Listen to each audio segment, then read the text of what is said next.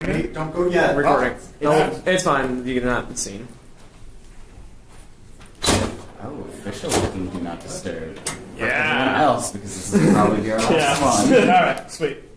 So, uh, he's putting that up. He's going to close the door. Sweet. I'm going to do a sound little sync up thing real quick. So, we are recording, right? Yeah. Yeah, we've been recording.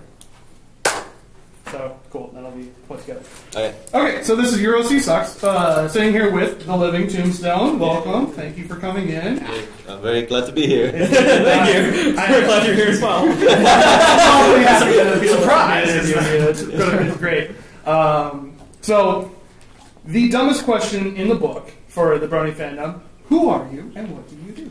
Um, well, you already said my name, so I don't have to say that twice. well, I'm the Living Tombstone, and uh, what I do is that uh, I'm very well known around the Brony fandom as a guy who makes a lot of remixes and songs and music about the, the Brony fandom and the the MLP show. Yeah. And uh, yeah, that's what I Right. do. Right on, right on. And you, you're kind of uh, you stand out uh, from most of the Brony fandoms on a worldly stage, just because you you're from Israel, correct? Right, yeah. Awesome. So it's like it, it's always interesting whenever I see you. It's like oh, you know, it, it's like oh, it's Tombstone. That's really cool that he's here. And then like two minutes afterwards, I'm like, he doesn't live in the country. That's like, it's like you flew international. yeah, it's international travel just to be here. I mean, you're the globetrotting uh, musician out of like everybody. Like, there's obviously uh, uh, Acoustic Brony who come over from England and whatnot, Mm, yeah. and then uh, Replacer came here from Australia. Yes. Or In New Zealand, New yeah, Zealand, so, yeah, yeah, New. Zealand. Sorry, I don't, I don't, I don't want to offend our Australian. I'm not bothered. I'm not bothered. Yes. yeah, are you, would you say when you make a country when you go? Oh, side note, we are unfiltered, so Oh, yeah, you say whatever you oh, want. it's it's uh, it's alright. say So I can fuck say fuck. Yeah, exactly. Yay! I forgot to mention that for it's uh, magic! Yeah. Uh, So, uh, yeah, like you're an amazing musician. I know I listen to your music all the time, feverishly. Uh, I think I absolutely love the uh, Vampire Bats remix you did. That was, Oh, thank you. I was just like, what am I listening to? And then it's like it just drops into it. I'm like, yes, great. all right, so uh, back to the content of the actual show. Right. So, uh, as I explained earlier, we are uh, Pony Reviews, uh, OC review show. So we like to talk about ponies and whatnot. Right. Now, EuroC is obviously as famous as you are, and uh, is very well known. Uh, it's been seen all over the place. I think the first time I really noticed EuroC was in. Greetings. Oh, I'm sorry. What we? The sign. The sign. It says do not disturb. Original by Tombstone. no, please come. You know, it's a cover that I just improvised lyrics on. I You can remember on the original song that it's based on, probably from Cats. Yeah. The musical. anyway, Right exclusive to Tombstone. Exclusive to on. Euro As soon as Tombstone. the title pops out, I'll, uh, exclusive to Xbox One. sounds better with Kinects.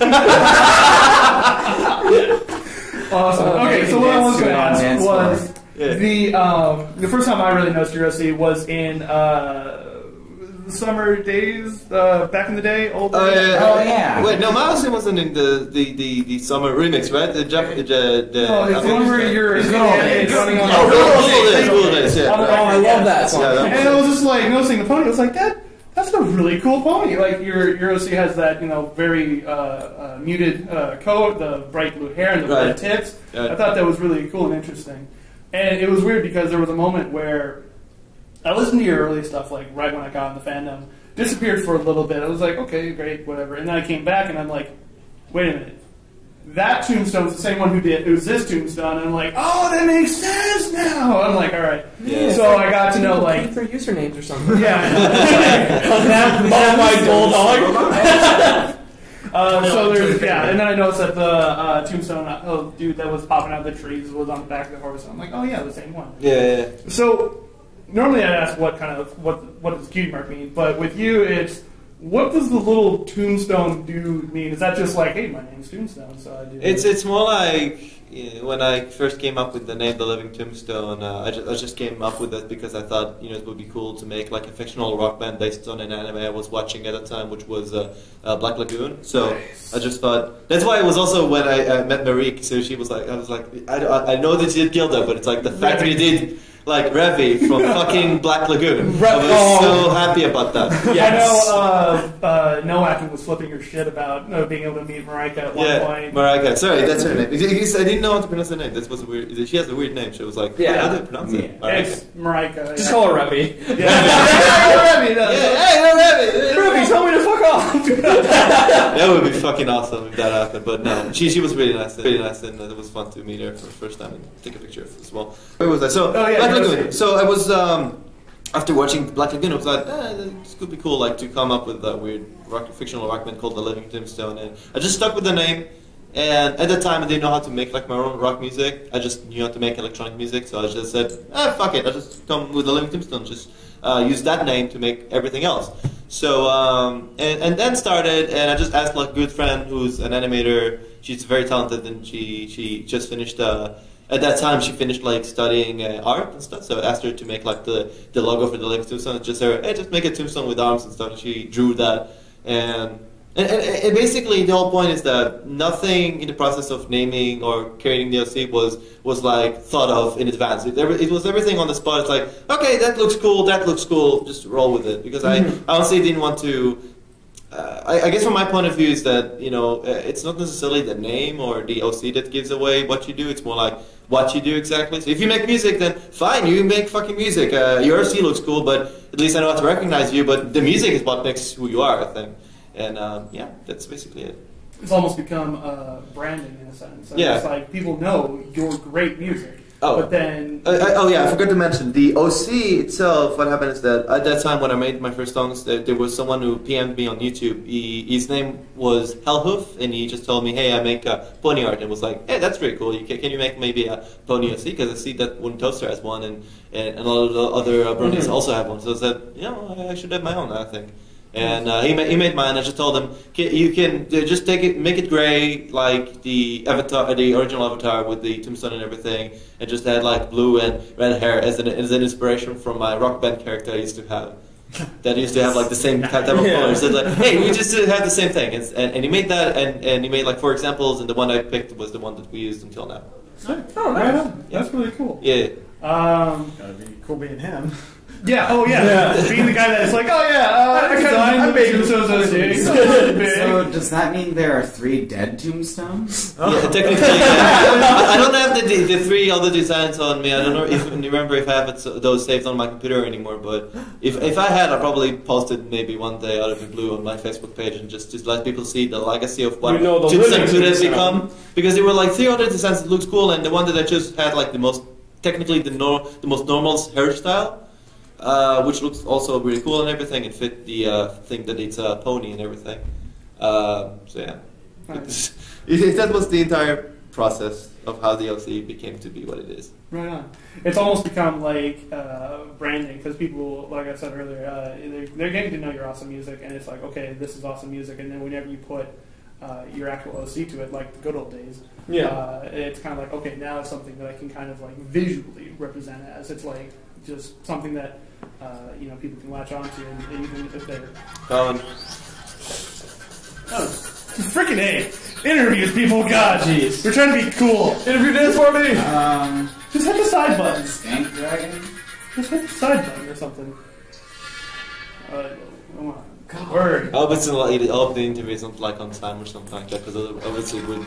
No, no, no, just no. put it on mute or something. There we go. Yeah. Oh, there we go. Stuff it. Put a sweater over it. now we'll chop it up and put it on. Put a sock on it. Anyway. You don't even have a cell phone. Uh, Yeah. so, uh, you're obviously uh, your OC is uh, supposed to be uh, connected to you, but is it meant to be more of uh, Pony Sona, like you in the Equestria world, or is it just a character that you've?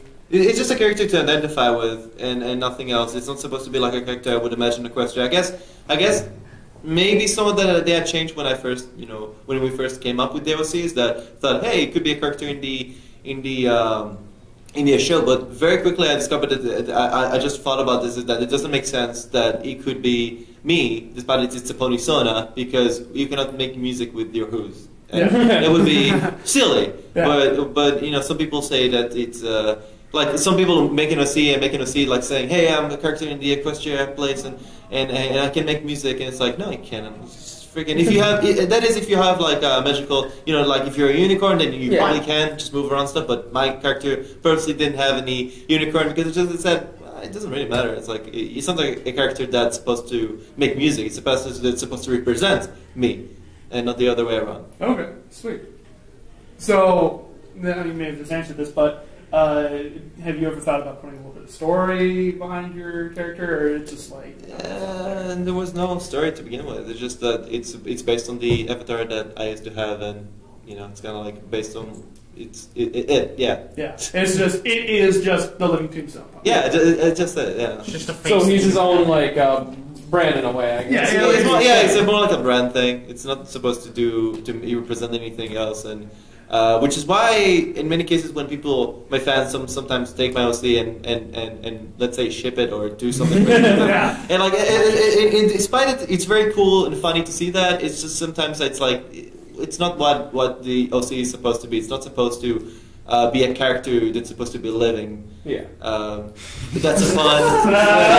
All think that. yeah, sorry about that. But but yeah, it's, it's not supposed to be like i- i- in the sh- in the show or world or something like that. It's supposed to be like, as you said, it's like a brand thing. It's not supposed to do anything else. And when whenever people do something else than what I expected them to be, I I get like a bit like it's more like eh. But then again, I'm not. I'm not like pissed off with. I mean, it's it's what they can do whatever they want. It's like I own this character like copyright wise or something. Yeah, I mean, besides, uh, besides, someone else created it. It's not me created it. Yeah. it. It's own, when I own it. nice, right on. Because I know that there's uh, obviously people love putting you and Mike together. There, uh, there's My, uh, me and Mike, me and Glaze, me and Lowell at one point. I if there's, a, mu- if there's a popular musician, they put you together. Yeah. uh, there's one with MandoPony, I remember. There's like a bunch of the people send me uh, weird ones. And, uh, Yeah. and, and sometimes sometimes look at them, it's like, ah, it's funny, but it's like, yeah, whatever. They can do whatever they want. I, I, I just, I hope from just you know just from seeing the picture that I hope they're not obsessed about that mm-hmm. idea that they're Yeah. they're together or something. And that would creep me the fuck out. no, no, Mike and Tomb are an item. They, DVD. they uh, have to. No, they have Just go to. away. It's in Just my go brain. away. Leave- leave. Yeah, yeah. Go back to Tumblr. Yeah. Syscom. You're my favorite person. Social justice. Like those, those people on Tumblr, but that's a different discussion. Different. That's, that's for a different. So time. what's your opinion on when your sucks got attacked by Tumblr? Yeah, so those people who just post shit anonymously on my uh, Ask box sometimes. But yeah, I yeah. yeah. Anyways, that's a Um, different yeah. story. Different Anyway, story. Okay, so uh, stupid question, but it's a question that everybody needs to ask: Who is best pony? Um, I think Rarity. Rarity. And I've been always on that boat for like since, since day one. I remember first time first time I watched the show on season one. I used to be like big fan of Fluttershy, I think, or Twilight Sparkle, but over time that changed to Rarity because she she's very self obsessed. She she likes to make everything so she could feel prettier, and also she could be famous because she makes pretty stuff. And that's like uh, some kind of a weird obsession about something. Uh, but then again, she's also kind of like she understands. She, she, she, she likes to be generous because she understands that whatever she creates, it's despite that it's all fashion. It's it's not it's not something that she can always wear herself. I mean, it's something that she creates. She can make it for someone else, and that's the big gift that she can give to the world, and which is something that I appreciate and I respect. You know, people who make amazing things for the world. Like let's say I make music. I know that not everyone needs to like my music or you know enjoy it for what it is, but because I put it out for free, you can do whatever you want with it. The same thing goes with Rarity. She doesn't ask for money if she makes a dress for someone. She just you just do it. Does Does it. Yeah. She good. does the, the craft and everything. That's the point. I mean, like that one episode, she gave her friends five free dresses. Actually, ten because she made two.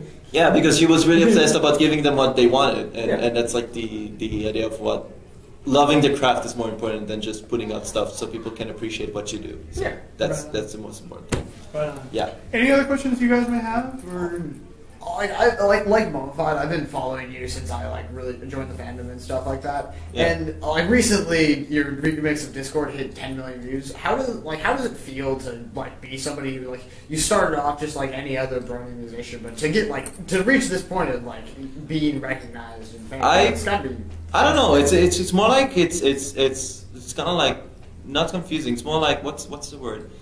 It's kind of like being flummoxed a bit. It's like it's like Like, it- it's it's more like really. It's like, you're like befuddled. like Yeah. me? Bu- Buffled, yeah. It's, it's, it's just being a bit buffled because sometimes because I'm fascinated when I see someone. Not I'm not saying about me. Like to say someone gets famous. It's like how did it get to be that way? And when I got there and I got to experience what fame means, I I'm missed still, something. I'm still like, wh- wh- how did it happen Wait, exactly? Because because my music because I know other people that I'm jealous of that they are fantastic musicians and I don't know how to make some of their stuff that they're making and I'm always like how do they do that and and some of the questions I have for for, for example is like you know I got famous they didn't and there I consider them much more talented than I am. So how how come they don't get enough fame? What are they doing wrong? And I did right maybe by mistake. How did that happen?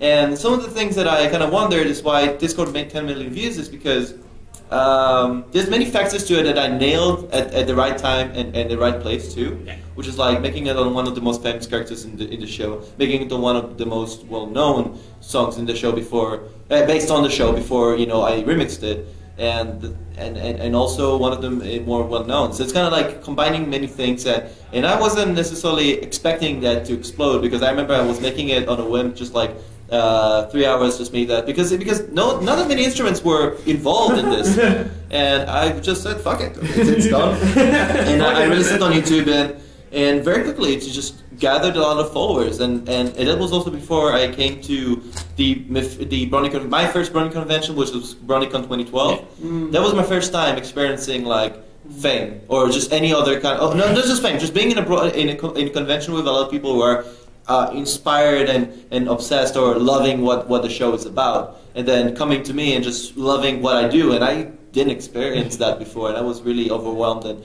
and also kind of like questioning myself how did uh, that all came to be like right there.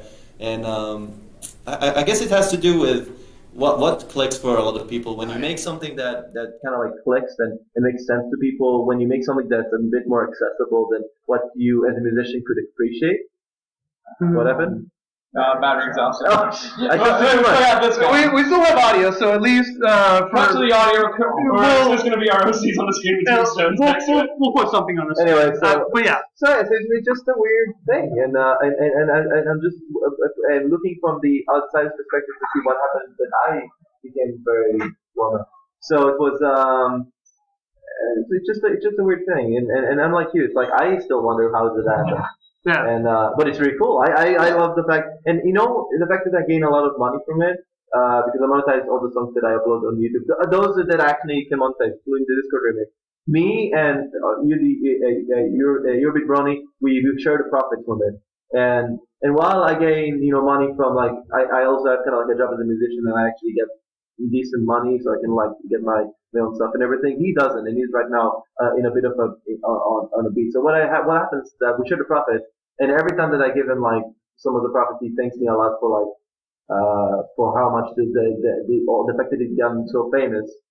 Uh, it helps, you know, both of us, especially him, in that part. So it's like I don't care he got famous, uh, uh, like the song, but I'm very happy that it helped, uh, especially him. Right. And everyone else who just Yeah. just avoided fandom because of that. That's also cool. Right on. Sweet. So uh, we're being told that we're running low on time, so unfortunately, I think we're going to have to cut it right there. So uh, Yeah, I hopefully didn't talk too much. no, no, no, no, no. Thank By all means, go, go ahead. We are flabbergasted. You even, you even would want to talk to us. Oh, I'm like, eh, hey Tim, you want to go do this thing? Yeah, sure, why not? I got Yeah. one. All right. So uh, from us here at Your OC Sucks, thank you for uh, coming out. Uh, with uh, Living Tombstone. Unfortunately, now you can't see, and possibly, maybe not even on, on my camera, whatever. Uh, but yeah, so uh, obviously, Living Tombstone, thank you Yeah. for coming out. Yeah, thank you. Uh, and I gotta tell you, your OC, just like your music, does not suck. Thank you for coming out. Thank you very much. Yeah, thank you.